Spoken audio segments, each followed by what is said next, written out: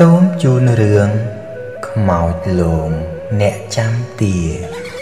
សូមជម្រាបសួរពុកម៉ែបងប្អូនកូនក្មួយទាំងអស់ជាទីស្នេហា ថ្ងៃនេះខ្ញុំបាទសូមជូនរឿងពិតមួយដែលផ្ញើមកដោយប្រិយមិត្តយើងឈ្មោះជីវ័ន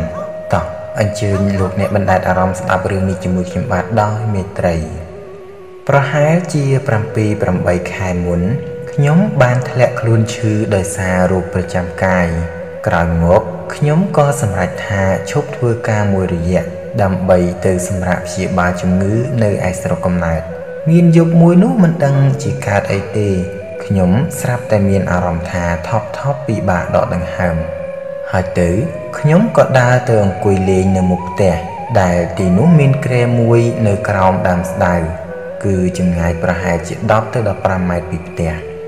ដោយសារបេះដូងធ្វើទុកពេក ខ្ញុំក៏អង្គុយផងដើរផងនៅមុខផ្ទះនឹង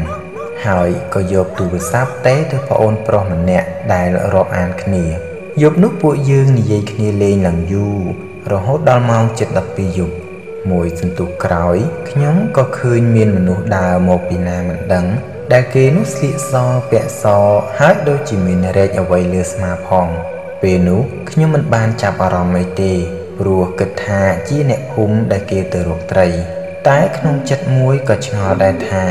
អ្នកណាគេទៅរកត្រីអីទាំងកណ្ដាលយប់អញ្ចឹងហើយអ្វីដែលរតែចម្លែកជាងនឹងទៅទៀតគឺអ្នកដែលដើរនឹងទៀបមែនតែនបើគិតជាកម្ពស់វិញ គឺខ្ទង់ប្រហែលជា1ម៉ែត្រ20ប៉ុណ្ណោះឯងខ្ញុំក៏កាន់តែឆ្ងល់ព្រោះក្នុងភូមិមានអ្នករកត្រីតែម្នាក់ទេ ហើយពូនោះគាត់ខ្ពស់មិនមែនទៀបដូចដែលខ្ញុំឃើញនឹងឡើយ។ តែដោយសារមេឃងងឹតងងឹតមើលមិនសូវច្បាស់ខ្ញុំក៏មិនដឹងថាជានរណាខ្ញុំក៏អត់មានចាប់អារម្មណ៍ថាខ្លាចសំបីបន្តិចសោះឡើយលុះពេលព្រឹកឡើងខ្ញុំក៏យករឿងពីយប់ប្រាប់អ្នកផ្ទះនិងចាស់ចាស់ក្នុងភូមិពួកគាត់ក៏ប្រាប់មកវិញថានោះគឺជាអ្នកថែរក្សាក្នុងភូមិបើសិនជាពពួកអាមនុស្សវាប្រកាសជាលងបន្លាចយើងមិនខានឡើយ រំលងពីនោះបានប្រហែលជាមួយអាទិត្យខ្ញុំក៏មានអារម្មណ៍គ្រាន់ធូរស្បើយពីជំងឺខ្លះហើយមានយប់មួយខ្ញុំក៏បានទៅដេកអង្រឹងក្នុងទ្រុងទាកប៉ាដែលខ្ញុំចិញ្ចឹមនៅឯក្រោយផ្ទះប្រហែលជា50ម៉ែត្រនៅទីនោះស្ងាត់ណាស់មិនមានផ្ទះអ្នកណានៅក្បែរឡើយនៅខាងកើតកន្លែងចិញ្ចឹមទារបស់ខ្ញុំ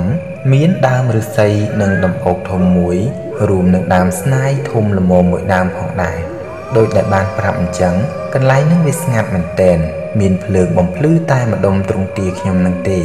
ក្រៅពីនឹងគឺងងឹតស្លុបតែម្ដងយប់នោះម៉ោងប្រហែលជា9យប់ខ្ញុំបានទាញកាសដើម្បីបើកចម្រៀងស្ដាប់និងលេងហ្គេមមិនទាន់បានប៉ុន្មានផងខ្ញុំស្រាប់តែបានឮសំឡេងសត្វក្របីវាស្រែករលឺខ្លាំងខ្លាំងមែនទែនទោះខ្ញុំដាក់កាសស្ដាប់ចម្រៀងក៏នៅតែអាចស្ដាប់ឮសំឡេងវាដែរ ខ្ញុំឆ្ងល់ក៏បិទចម្រៀងរួចដកកាសចេញ ហើយអង្គុយចាំស្ដាប់ម្ដងទៀតពេលដកកាសចេញហើយខ្ញុំក៏បានឮសំឡេងក្របីស្រែកកាន់តែខ្លាំងឡើងខ្លាំងឡើង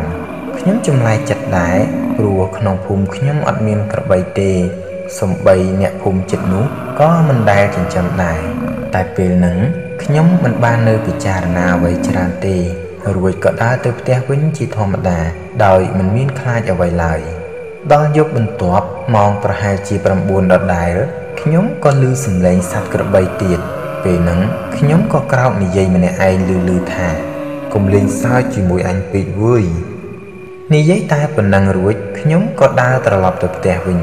ដល់យប់ទី3ក៏ត្រូវជាថ្ងៃបុណ្យភ្ជុំបិណ្ឌទី1ដែរខ្ញុំបានជួបជុំមិត្តភ័ក្តិបងប្អូនហូបចុកតិចតួចនៅលើគ្រែក្រោមដើមស្ដៅមុខផ្ទះហូបបានបន្តិច ខ្ញុំក៏សុំពួកគាត់ជប់ហូបព្រោះខ្ញុំដឹងពីស្ថានភាពជំងឺរបស់ខ្លួនឯងដែរហើយខ្ញុំក៏ដើរទៅទ្រង់ទាដេកក្នុងរឹងទៀតខ្ទង់ម៉ោងប្រហែលជា10យប់ខ្ញុំស្រាប់តែបានឮសំឡេងក្មេងយំចេញពីព្រៃឫស្សីខាងកើតទ្រង់ទានឹងតែម្ដងឮដំបងខ្ញុំមិនខ្លាចអីនោះទេ តែដល់ពេលឮយូរទៅខ្ញុំស្រាប់តែព្រឺសម្បល់គីងគក់ព្រោះសំឡេងយំនោះវានៅតែបន្តរហូតដល់ជាង20នាទីឯណោះហើយក៏យំលឺទៅលឺទៅ រហូតដល់ខ្ញុំមានអារម្មណ៍ថាខ្លាចខ្ញុំក៏រត់ទៅផ្ទះយ៉ាងលឿនរត់ផងស្រែកផងឡើងផ្អើលគេដែលកំពុងហូបចុកនៅឯផ្ទះ